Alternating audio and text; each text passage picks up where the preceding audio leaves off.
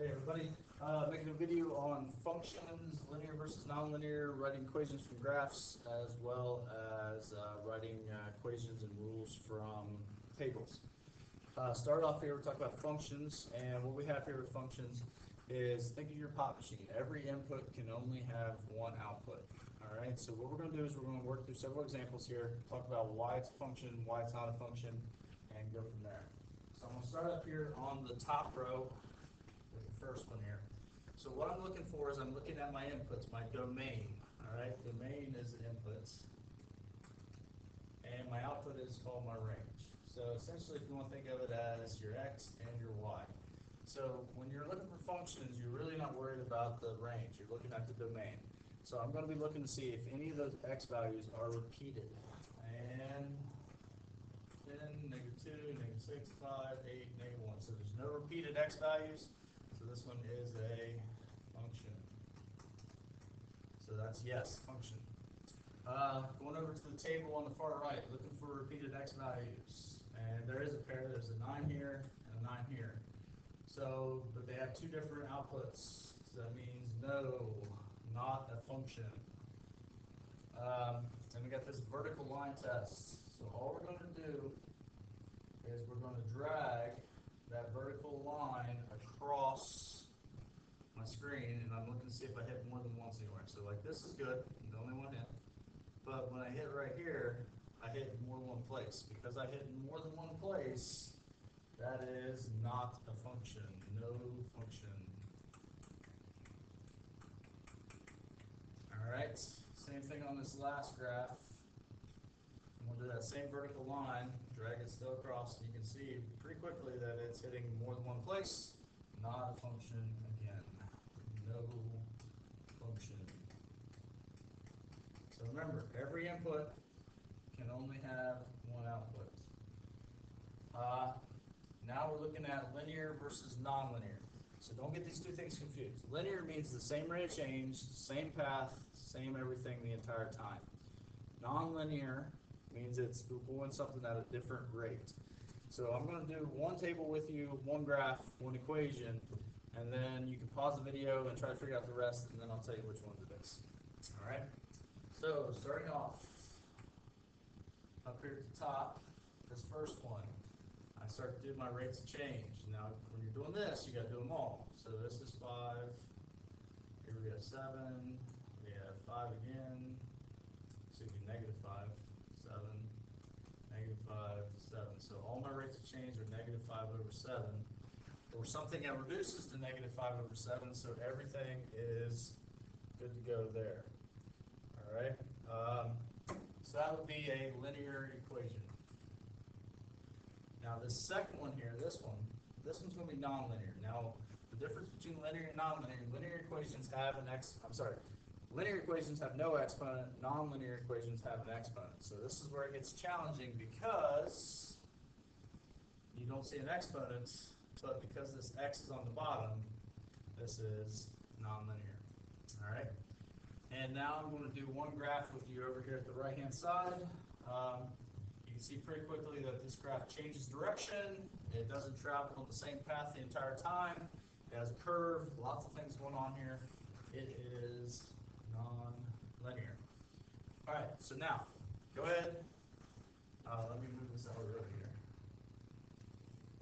Uh, pause the video and see if you can figure out which one other ones are also linears, non-linears. Now go ahead, give a second, so you can pause. And now, once you hit play again, you'll come back and I'll go through the answers with you. All right, so uh, this one is going to be linear. Uh, then we're looking for nonlinear functions here. So we've got an exponent, no exponent, no exponent. Here, there's a hidden exponent because three that becomes 3x squared. So two of them there. Uh, this table here, so we got subtract left, 23, so that would be 6, 4 over 6. So I got 4 over 6 as my rate change because y over x.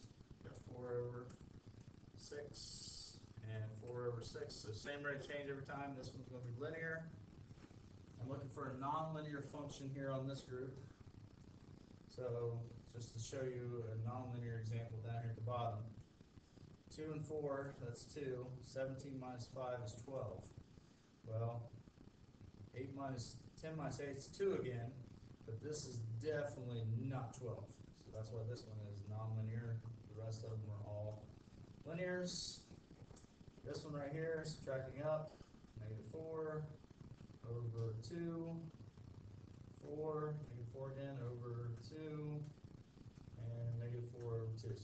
all the same there, so this one's also linear. So different rates of change means nonlinear.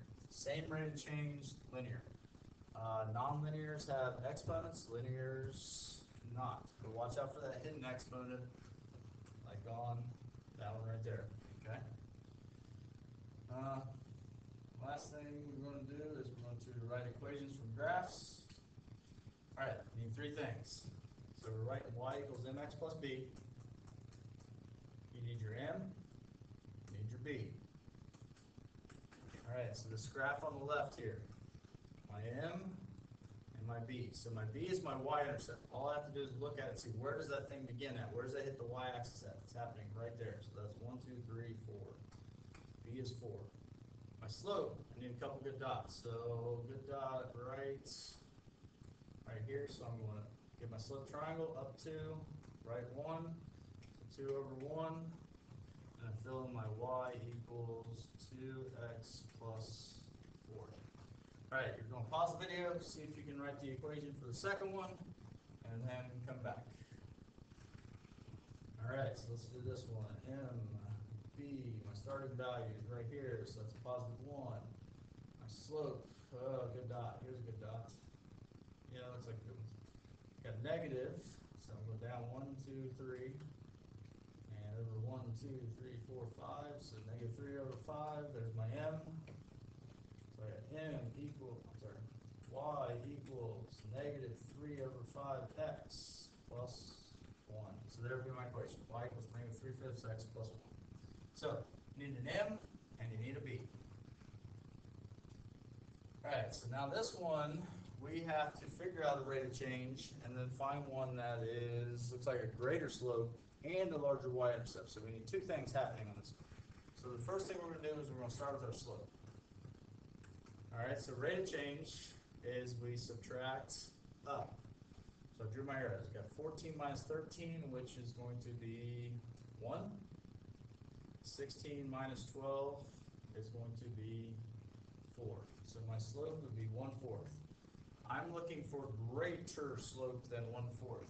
So the letter A is out because it's the same. I'm looking for greater. Uh, one half is greater, so that one's still in play. One fifth is not greater than one fourth, so that one's out. And the last one has one half, so that one's greater. Now, here's where I gotta figure out my y-intercept. So how this one work is, I've got an x value and a y value. So I have four and eleven. I'm gonna those two. If I plug in four, it should give me eleven. Alright? So what I'm gonna do is I'm gonna do four times my slope. So I'm gonna take this one fourth and I'm gonna plug it in here. And I'm gonna do four times a fourth. Well, four times a fourth is one. It's supposed to be eleven. So I gotta say, okay, how do I adjust this where I'm at 1 to get to 11. So the only way to get from 1 to 11 is to add 10. So I write my equation. y equals 1 fourth x plus 10. And right now, I've got my two pieces. i got my slope, got my y-intercept. So I'm looking for greater slope, which I've already taken out two of them, and now I'm looking for a larger y-intercept. So my y-intercept is 10. So if I look at b, plus 6 is not bigger than 10, these out. D has plus 14. That's my bigger one. All right. So hope this helps. Um, and that kind of wraps up functions and linear, nonlinear, and writing equations. Have a good day, everybody.